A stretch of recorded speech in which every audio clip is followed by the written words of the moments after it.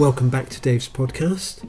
A few years ago, I wrote a book called The Bloke's Bible, and it was about a guy who uh, regularly visited his local pub, uh, bought a pint of Guinness, and sat down at a table in a comfy chair with his little leather backed Bible and read a passage from it, a story from it, or whatever, and reflected on it, and also looked at the other characters in the pub and how it might relate to them, and kind of a, an earthy way of retelling some of these stories. But I took a lot of them from the Old Testament. I know a lot of people find it difficult, and in fact, it's often used as a kind of um, a, a, a way of discrediting the Bible because people say it's just full of violence.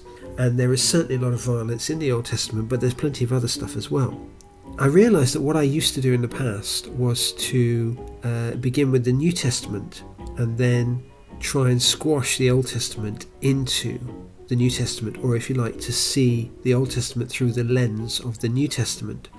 I w- once heard a bishop say that what a lot of people do is they start off with the letters in the New Testament, many of them written by Paul, and then they view the Gospels, which are the blogs about Jesus, the four Gospels, they view them through the lens of the letters. And then again, they view the Old Testament through the lens of the letters and the Gospels. So all the time they're, they're kind of coming at it the wrong way around, as I was really. The point is that the Old Testament came first. In one of his letters to a guy called Timothy, Paul says to him that all of the Bible is inspired by God and is useful for teaching and guiding and equipping and strengthening and all of that kind of thing. But what's fascinating is Paul is not talking about the New Testament at all then.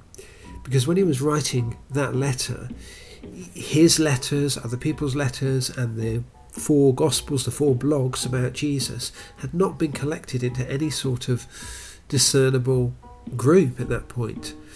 In fact, some of it hadn't been written at all. So all Paul is thinking about is the Old Testament. So he's saying all of the Old Testament is inspired by God and is useful for guiding us and helping us and correcting us and showing us life in all its fullness. So that's the point where I want to begin, really. And one of the things that I like about the Old Testament is I think it gives us room to maneuver.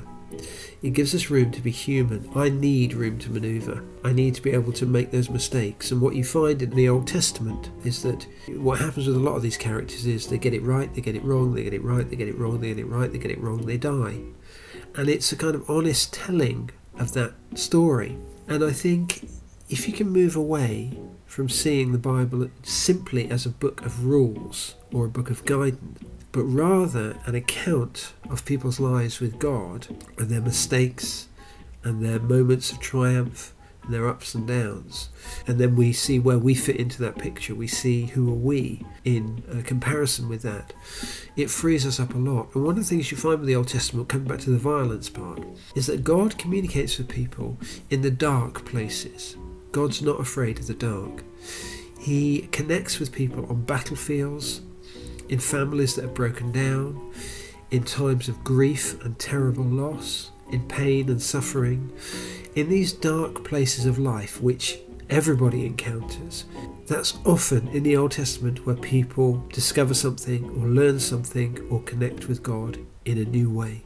One thing the Old Testament certainly does is it smashes to bits that kind of um, prosperity gospel the idea that if you follow God, you'll be happy and healthy and wealthy. That's talked about in the Old Testament, and people aspire to that, and they want that to be the case. But if you look at the stories and what they're telling us, what you find time and again is that people encounter other things. They encounter trouble and strife and poverty and loss. And these people who live through these difficult situations, they're the ones telling us about God. Some of the people in the Old Testament are rich, certainly, some are powerful, but even they encounter trouble. But you also get many poor characters, many struggling characters, many people who maybe at one point do get rich but go through periods of struggle and poverty. You get their stories and their telling of their encounters with God.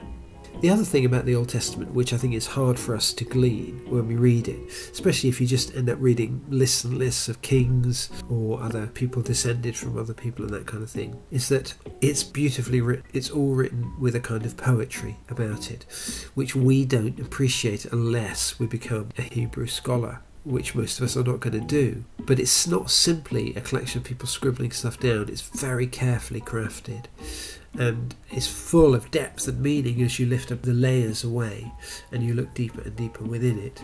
Um, it is like uh, digging up treasure in a field where you keep digging and you get more and more and more and more. But that's hard work, and I often say that the Bible is a bit like a, a fruitcake or a Christmas cake that has been left for a long time has become really, really dense. And some Christmas cakes can be like that, can't they? And you need like a chainsaw cut through them. Well, that is the Bible. It is a really dense book, which is why a lot of people find it difficult to read or don't read it or don't read certain parts of it. The other main, really good reason for discovering more about the Old Testament is that the New Testament draws on the Old Testament so much. Jesus and Paul and the others who wrote the Gospels and the letters they were completely saturated with the stories of the Old Testament.